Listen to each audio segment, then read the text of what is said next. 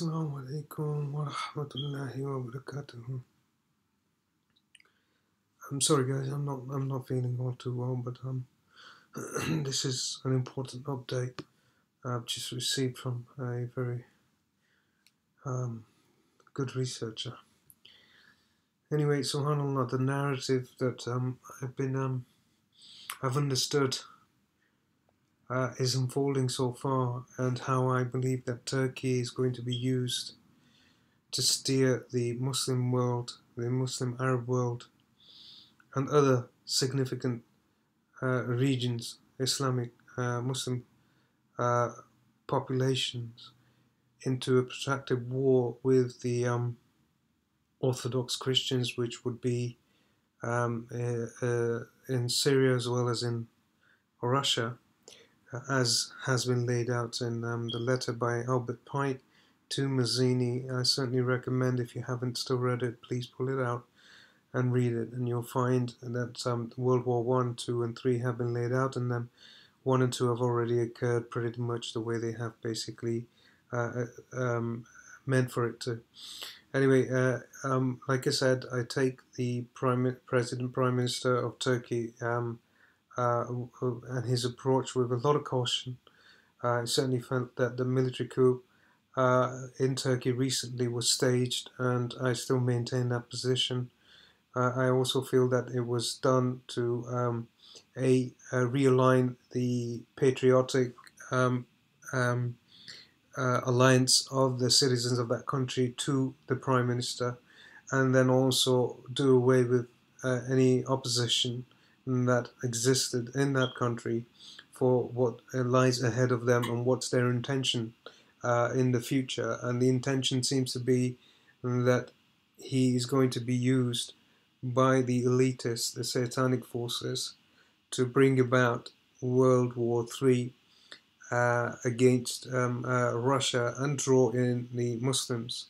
Uh, uh, uh, to be honest with you, he has been set up to be a leader, an Islamic leader at least, um, uh, within that region, and someone who basically has had a maverick attitude on the international stage, on the international platform, uh, just to lull the masses and fool them, to be honest with you. And this is what I see, and Allah subhanahu wa ta'ala knows best.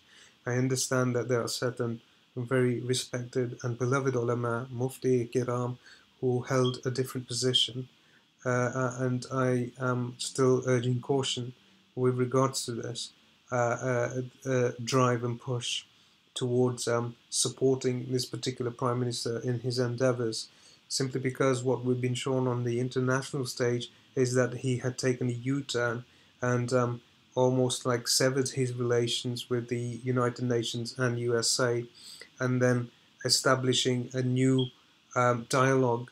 And this uh, at least uh, with Russia, uh, an unprecedented one, and almost like a, uh, a, new alliance was forming between them and um, between Russia, Turkey, and Iran.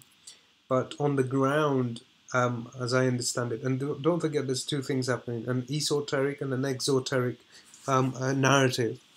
And one narrative is for the masses, and the other narrative is for those in the know those in the know understand that the uh, uh, the exoteric uh, narrative is played out on the mainstream media.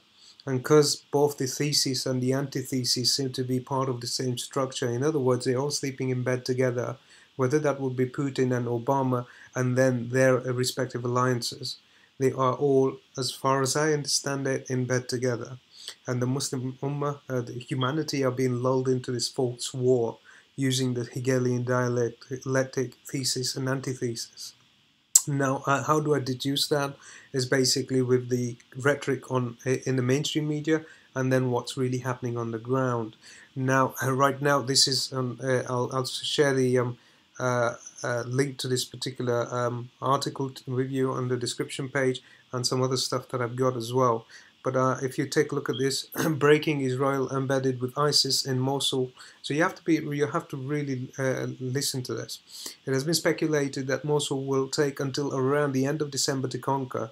Many suspect more than 30,000 deaths will result, according to an anonymous, anonymous inside source intelligence reports that many of the ISIS leaders speak leaders speak Hebrew. Ulama, you know, we already know this. I know we do, but this is this is um, uh, current information which you're not going to find on the mainstream media uh, or them talking about.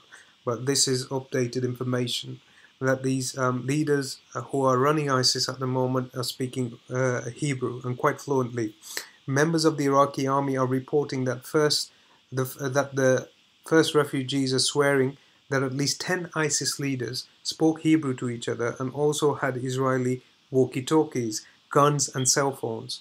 Our source says they also spoke Arabic but with a strong Israeli accent. However, none of the mainstream Western media is uh, mentioning any of this. These leaders left five days ago and met no resistance from either Iraqi, Turkish, or US forces. Now you'll understand where the allegiance is. Iraq, certainly, they placed their own puppet government there. Turkey, as far as I'm concerned, uh, despite what they show the um, international on the international mainstream narrative, they're still in cahoots with the USA, and, uh, and not necessarily with Russia. Now, Russia, although as far as I'm concerned, all of these, I mean, this is like one part of the thesis, all right, and this is where the alliance is in that uh, that part of the thesis, as well as other countries and then you've got Russia and their allied forces, and that part of the thesis. But again, like I said, they're all part of the same structure. It's just a huge play, a scripted play that's unfolding on the Ummah and designed that way for it to look as though there are two um, uh, um, conflicting um, um sides that are fighting against each other and they've got their own allied nations. The idea is all these leaders are part of the same structure, but they are taking their citizens, their respective citizens, the innocent people, the innocent masses, into a nuclear war. And I believe that Turkey is going to be used in order to drive, coerce, and direct the Muslim world uh, uh, in uh, uh, in this um, uh, this this war, the world, the Malhama, the World War Three. And so the ulama really need to pay attention to what's going on and the rhetoric. And I mean, subhanAllah, we've come across a lot of individuals who have quoted, you know, from the kalam of Allah subhanahu wa ta'ala. And alhamdulillah, you know, mashallah, we have to because our hearts soften instantly when we see someone reciting the kalam of Allah subhanahu wa ta'ala or invoking Allah subhanahu wa ta'ala. But we've seen that with um, we've seen that with Al Qaeda. We've seen that this with this uh, uh, this false version of the Taliban.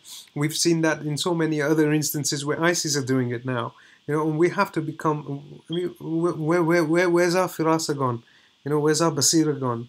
You know, you have to look at the, what's happening on the ground. And I mean, again, it seemed so scripted when uh, the whole uh, uh, uh, situation surrounding the Turkish Prime Minister was unfolding. You know, it, it, it, it seemed very obvious. and Allah subhanahu wa ta'ala knows best. But I really genuinely have, from the bottom of my heart, real concerns about this now. And they're literally right now, as I understand it, within 10 kilometers of uh, a, a, the, uh, the region where uh, Russia had scored a line and, and told Turkey that if they were to cross this boundary, then war would start. I mean, there was no, they didn't mince their words about this. They were very clear about it, right? And it seems like Turkey has just basically, they're 10, kilo, uh, 10 kilometers away from that particular boundary, and who knows how further they have advanced since, and Allah subhanahu wa ta'ala knows best. Anyway, the uh, uh, on the ground, so you see Iraq, Turkey, US forces. What nobody knows is that Iran is helping to drive ISIS out, right? Now that makes sense because Iran is allied with Russia, and they're part of that thesis but remember, again, as far as I'm concerned, at the top, all of them are in bed together. And it's clear ISIS is supported and led by Israeli and the CIA. So obviously Israel and uh, USA are again allied. You've seen that Turkish uh, Turkey, although on the international stage he even walked away. I mean, the first time he got the sort of limelight in the Muslim world was when he basically um, um, uh, uh, um, took to task the uh, the Israeli prime minister on the international stage and he walked away during a discussion together on the stage away from him in disgust. And it seemed so scripted again and straight away he had the muslim world rally behind him applauding him and um, really um, uh, uh, felt um, um, uh, um, almost like the Muslim world was basically um, had a voice, right? And he was it. And this is how the mainstream media then pushed him as well in those particular regions, right? So I mean, it is it's all happening from a regional level to a uh, from micro level to a macro level, and you've got to basically. I mean, unfortunately, what we do is we take our news from the Western media, and that's about it. When there are so many alternative sources and they say a different story, and what you have to do is basically merge the two on a very uh, local level to a regional level to the Western level and to the other uh, uh, the, the other region. And then through that, through a process of elimination, processing that information, seeing what's happening on the international stage, what's happening uh, in alternative media, and then um, uh, uh I guess draw conclusions from that. And uh, look at the rhetoric and look at the alliances and look at what's really happening. And it's it's it, it really does you know subhanallah it, it, it becomes a little obvious as to what's happening and we will see, I guess, uh, very soon. And Allah subhanahu wa ta'ala knows best. But again, my only concern is that the Muslims don't get drawn into a bloodbath, uh, you know, a, a, a mass slaughter. Uh, one life of a believer is enough for Allah subhanahu wa ta'ala to run the nizam of the whole world, you know, of, of the universe.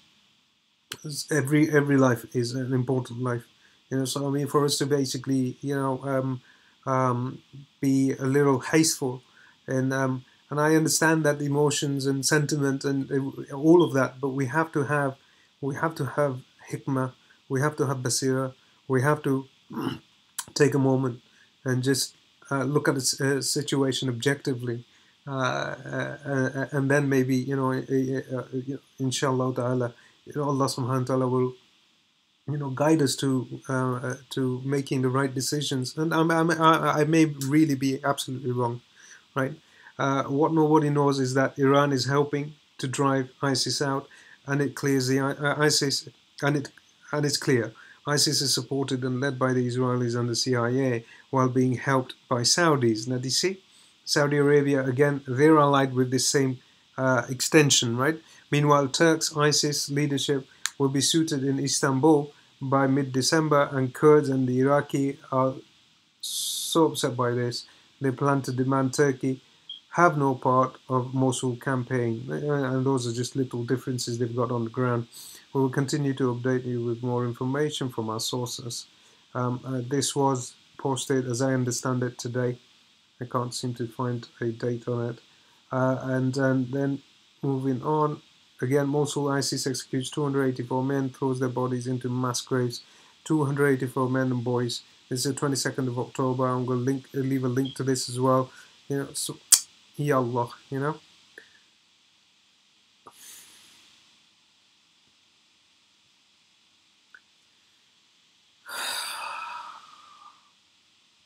Anyway, Jazakallah khairan wa jazakallah your time. Assalamu alaikum wa rahmatullahi wa barakatuh.